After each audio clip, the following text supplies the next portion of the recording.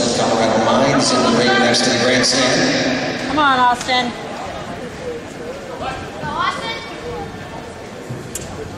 Just a little bit more. Just a little bit more. Just a little bit more.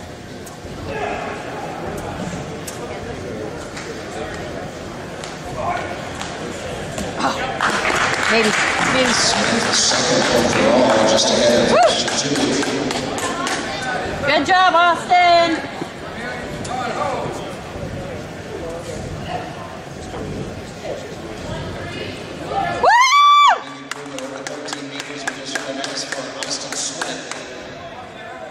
His best is 13.08 meters.